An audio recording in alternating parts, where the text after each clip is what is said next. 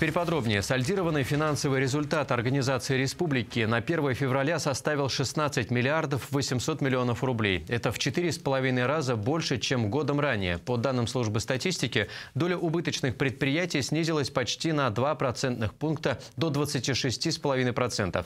Убыток нерентабельно работающих организаций снизился до 4,5 миллиардов рублей или на 38%.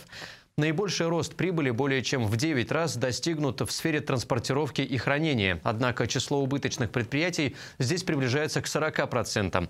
Из 110 сельскохозяйственных предприятий нерентабельно работают почти 11%. Убытки составили 24 миллиона рублей. В два раза нарастили прибыль предприятия оптовой и розничной торговли. Доля убыточных организаций в сфере превышает 22%. Убытки 430 миллионов рублей.